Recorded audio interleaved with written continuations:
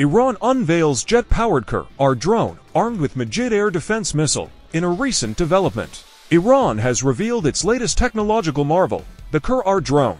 This cutting-edge unmanned aerial vehicle is powered by a jet engine, marking a significant advancement in Iran's drone capabilities. What sets the Karrar apart is its integration with the formidable Majid air defense missile system.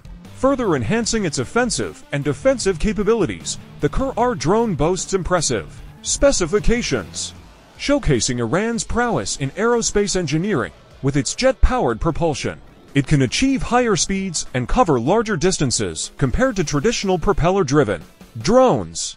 This enhancement in mobility grants the Karrar a strategic edge in various military scenarios. One of the most remarkable features of the Karrar is its integration with the Majid air defense missile this sophisticated missile system equips the drone with an enhanced ability to neutralize incoming threats, solidifying its position as a formidable force on the battlefield. This dual-purpose capability makes the Karrar a versatile asset for Iran's military operations.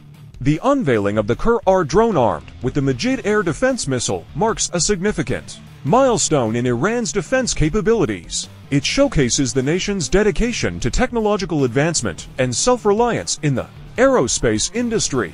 This development is expected to have implications not only in regional geopolitics, but also in the broader context of international defense strategies. For more updates on Iran's technological advancements and military capabilities, stay tuned to our channel. Don't forget to like, share, and subscribe for the latest insights on global defense innovations.